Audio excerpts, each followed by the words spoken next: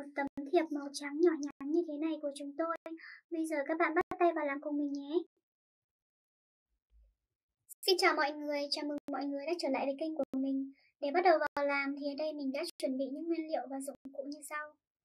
Về dụng cụ thì ở đây mình có một cái có, súng bắn keo. Mình sử dụng keo nến để dán nha. Một chiếc ờ, bút chì. Một cái con ta. Cái kéo. Và một cây thước kẻ. Là những cái cây bút màu nước nhiều màu như thế này.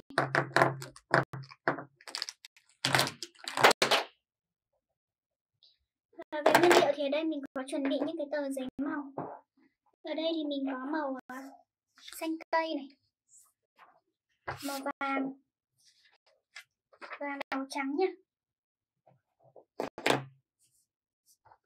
bây giờ mình sẽ đi à, lập cái tờ giấy màu trắng này trước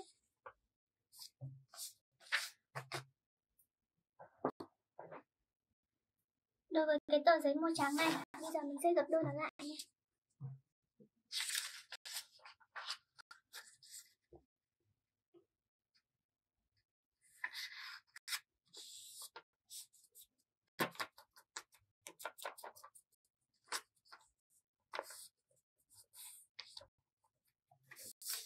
Sau đó mình sẽ dùng bút chì để vẽ xung quanh cái đường viền, những cái đường lượn sóng nhé.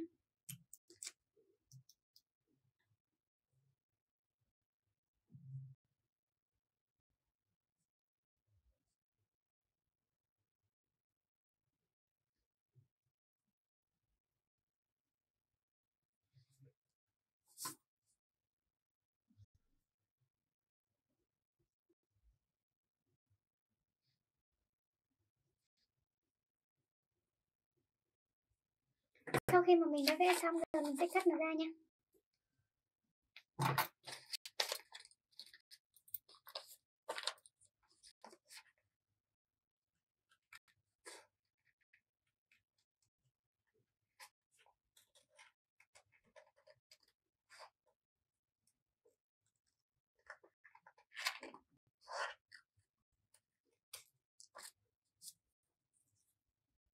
Mình sẽ cắt nốt bên này nha.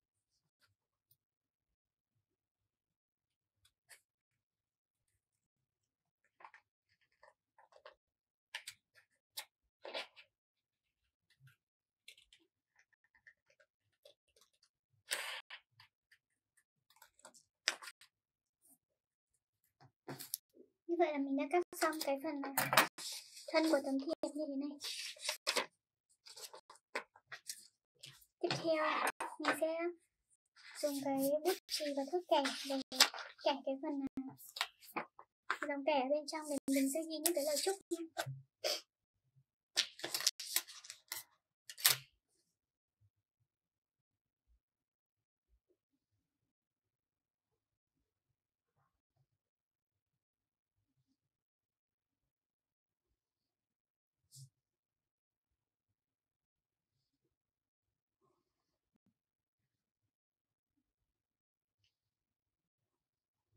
Mình sẽ kẻ cả hai cái mắt dưới nhé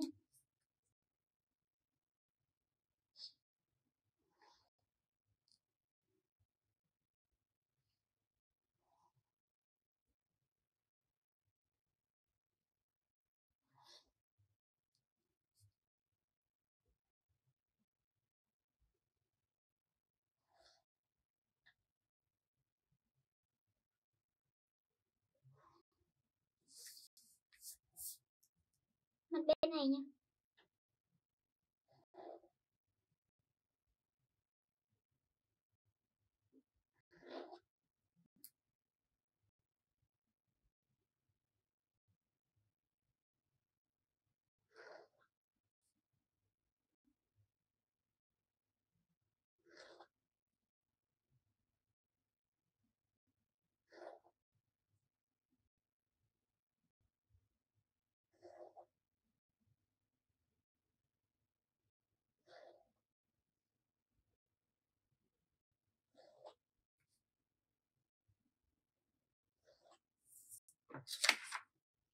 Đó sau khi mà mình đã kẻ xong rồi thì bây giờ mình sẽ đi trang trí nhé.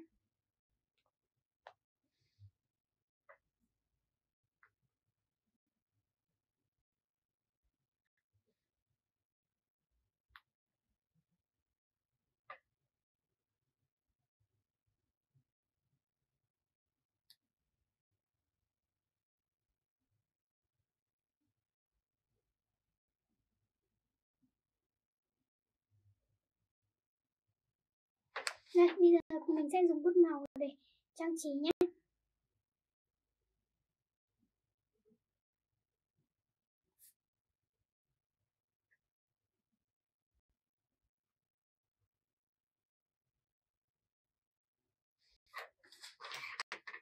Giờ mình sẽ dùng một cái bút màu này.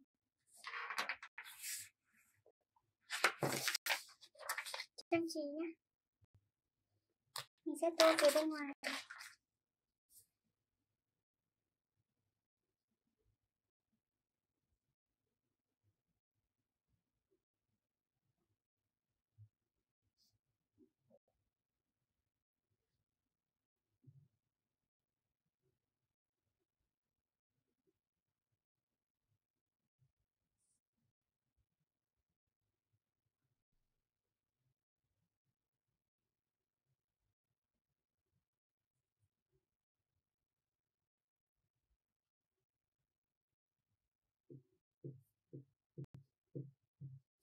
Mình sẽ vẽ cả phần dưới này nữa nhé.